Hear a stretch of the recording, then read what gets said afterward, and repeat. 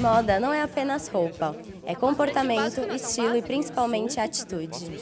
Coco Chanel dizia: Sou contra a moda que não dure. É meu lado masculino. Não consigo imaginar que se jogue uma roupa fora só porque é primavera.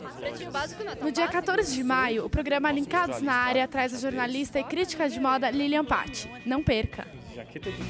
O marrom não pode ser básico?